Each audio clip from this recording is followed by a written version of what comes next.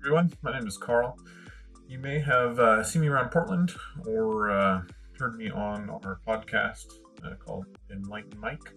I'm part of Team Galaxy Brain, and we're here to chat a little bit about uh, Katsu. We're we're starting a new thing. We're doing a a 101 series with the idea to explain heroes in a little bit more depth um, for newer players. So if you're an experienced Fab player, you know you've played against Katsu and you understand what Katsu's trying to do, this probably isn't the video for you. Um, however, uh, we, we do think that this could be a, a benefit for, for the community. So so hopefully, if you're watching, uh, the idea here is to to explain a little bit more about Katsu, how it works, and if it's the right hero for you. I personally love Katsu, and uh, we'll, we'll get into talking a little bit about why. So, just a high level overview, some of the stuff we'll talk about is the actual hero power itself, the available archetypes to Katsu, and, and kind of how it plays. We'll talk about some of the key equipment, some of the key cards that go on the deck, and then we'll look at an example combo line and, and talk a little bit about the differentiators for for Katsu and, and how it plays out compared to other ninjas. So as far as the hero power is concerned, you know, we have the young one on the left and the adult hero on the right. It says when an attack action card you control hits, you may discard a card that costs zero. If you do, search your deck for a card with combo, banish it face up, and shuffle your deck. You can play it this turn. So the idea here is that Katsu is going to have different uh, combo lines in the deck with the intention to uh, grab some of those combo pieces while discarding others that you might not need in order to complete that combo line. So uh, what, what I mean by that is, um, and we'll get into a little bit more later, but there's several cards that line up in a row. And if you line them up in a particular order and attack with them in a particular order, you get the, the combo text.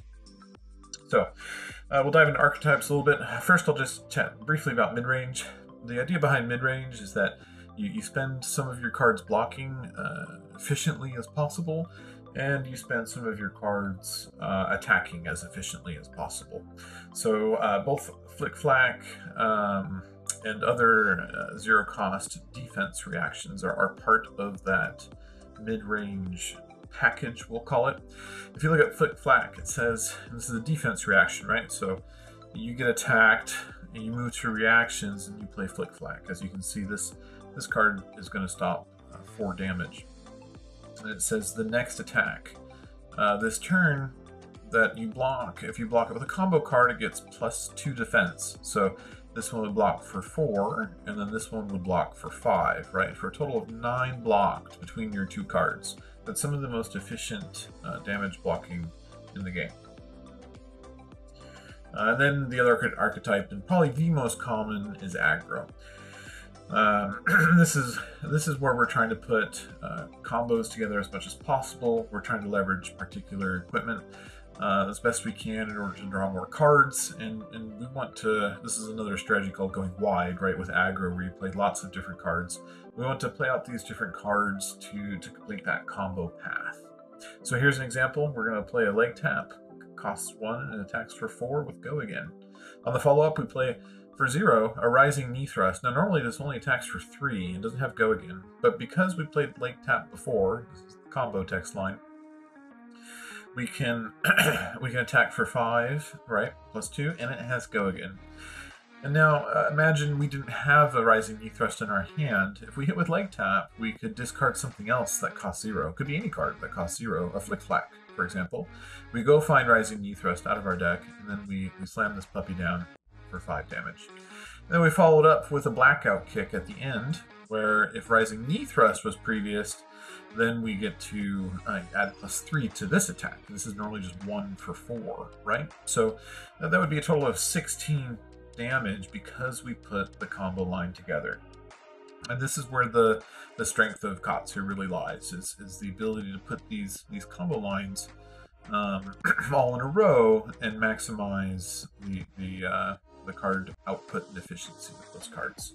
Now, um, I would I would also add that uh, generally Katsu has like lots of combo cards in the deck, and, and what I'm getting at is you would usually have more than one combo line.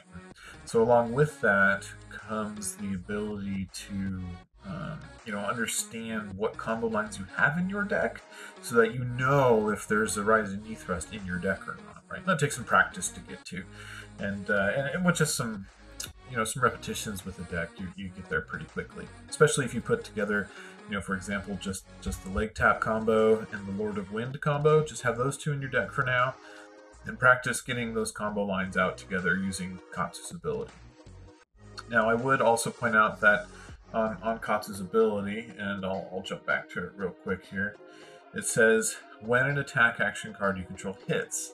Well, that means that it ha- only happens on the first one that hits. So if, if we're looking back at this uh, leg tap combo, if the leg tap hit and you already had a rising knee thrust, but you didn't have a blackout kick yet, you would have to go get the blackout kick when the leg tap hit right? So it requires a little bit of planning in order to, to complete the combo like you want to. So I'll talk about some of the key equipment. Uh, Mask of Momentum is, is probably the uh, the core to a Katsu deck. Uh, now this is a bit of a higher dollar card, so I put in some alternatives. But if you were to to ask me, you know, and say, Carl, I really like Katsu. I, I, can only really get one piece of legendary right now. Which one should I get? It would absolutely be a Mask of Momentum.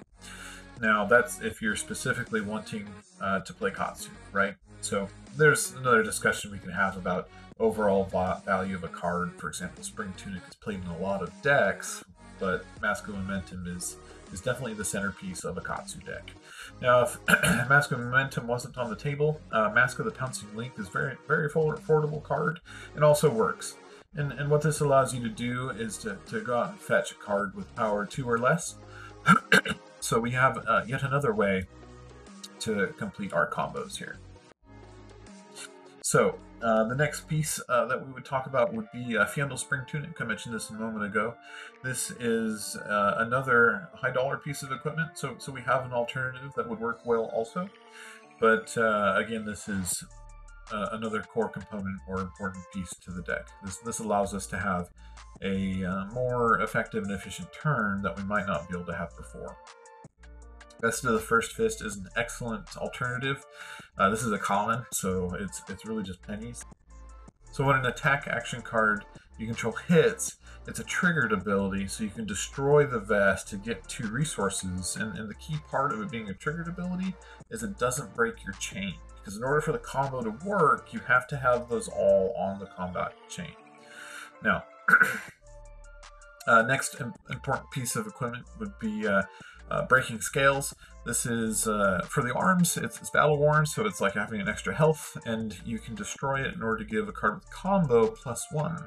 So we'll talk about uh, one of the combo lines later, but uh, Whelming Gustwave, for example, when you when you hit with it, it's going to draw you a card. So you can uh, you can force an opponent to respect the fact that you can give it plus one. Now they have to make a decision. Do they overblock or do they let you use your equipment, but you draw a card? So there's lots of decision points that you put in front of your opponent that aren't always easy uh, to choose. And of course, uh, harmonized kodachis are uh, another core component of Katsu.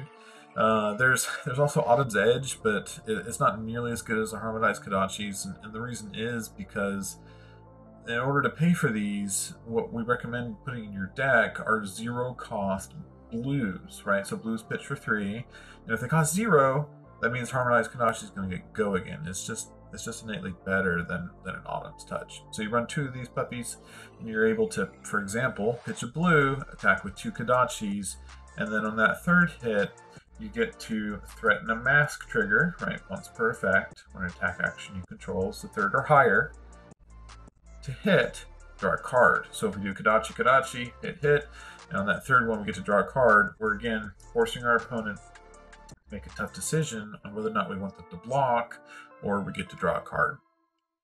And then uh, a little bit out of order here, but uh, Snapdragon Scalers is another important piece because it gives your attacks go again. Now, this, this might seem a bit innocuous at first. Well, sure, go again is great, but it's especially important in combo. So if we go back and we look at that rising knee thrust combo again, if if we were if we didn't have a leg tap and we just put out a Rising Knee Thrust, and say these were the only two cards we had, and we had it, and uh, we had one resource available from our tunic, we could put out a Rising Knee Thrust attack for three, right? The combo text wouldn't take place because we don't have leg tap. Well, then we can, as an attack reaction, give it go again with the Snapdragon Scalers, and then follow up with a Blackout Kick for seven, right? So, so suddenly, what would only have been a three damage turn, or maybe four damage, right, to attack with a Blackout Kick only, is a 10 damage turn because we get to do a Rising Knee Thrust, give it go again, and then follow up with the Blackout Kick. So that's that's the strength of the the breaking scales. So so now I wanted to touch a little bit on the key cards and th- these are the different uh, lines available. Uh, this isn't necessarily all inclusive. Certainly, more lines become available today as you're watching this video. But you can start with things like Rushing River line, Open the Center line, Rising Knee Thrust. There's also uh, uh, Crane Dance. There's there's several lines. So look, look through the different lines that are available and kind of make the connections on what the different ones do. I'm not going to touch on every one of them because there's quite a few. And then probably the the most core to Katsu is going to be the Lord of Wind line, starting with Surging Strike, which just two or five attack with Go again, into the Whelming Gust Wave that we talked about earlier. This one is if your last attack with Surging Strike gets plus one, go again. If it hits, draw a card. This is part of the strength of of that Lord of Wind line. And then uh, follow the Whelming Gust Wave up with Mugenshi Release. Now, there's a lot of text on this card, but what this card lets us do, if it hits, is to go out and fetch all of the Lord of Winds that are in our deck. So if we're playing a classic constructed game, and we have three Lord of Wind cards in our deck, we get to go fish out all three of them from our deck. And then if we follow up to Mugenshi Release with a Lord of Wind, we can then use the other two Lord of the Winds that we already have in our hand, right? Because we went got three. And we can pitch those to put all of these combo components back in the deck. All except for Lord of Wind, of course. So that would be the Surging Strike, the Whelming Gust Wave, and the Mugenshi releases. We get to put them all back into the deck so that we can continue to cycle through and continue to do the same combo, which is a very effective combo, multiple times throughout a game. So that's that's the, the core combo line that is for Katsu. And you can see that they are Katsu specialization cards as well. So they can only go in Katsu. So that's that's a real high level of uh, Katsu itself you know some of the differentiators is that there's you know a couple different ways to build it uh, depending on the combo lines you want. You know I've, I've, had fun exploring like an open the center into a pounding gale combo line which which open the center gets dominate and then pounding gale hits for double damage for one right? So a pounding gale could potentially deal 10 damage just on its own.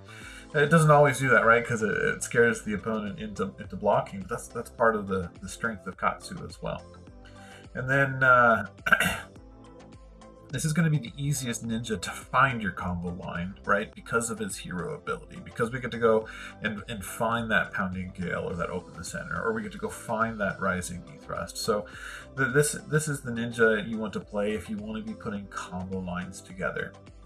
And it even says it on the card, right? Katsu goes and fishes out a card from your deck that has the keyword combo on it.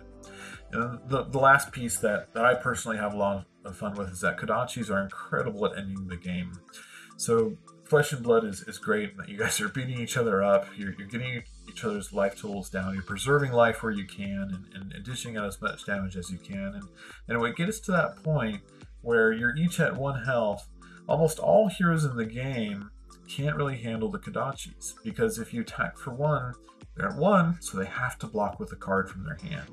And then Kodachi again have to block for a card with hand. And then if you attack for more than three, right, because most of their cards will block for either two or three, on that follow up, they have to block with two cards. So now you got their whole hand, and there's nothing else that they can do. So if you're ever able to get to a point where you can put just a small combo together or a small go again line together at the end, you end the game and you're in complete control at that point. So, so that's that's a little bit about Katsu. That's some of the things that I love, and uh, hopefully that gives you as a newer player a little bit more of an idea of what Katsu is trying to do and, and how he goes about it. I'm Carl from uh, Team Galaxy Brain. you know, tune into Enlightened Mike, where we, we talk about uh, everything from individual heroes to, to competitive scene and, and the meta breakdowns uh, throughout. And uh, if I don't see you at one of the major tournaments, then uh, hopefully I'll see you around Portland. Take it easy. Bye.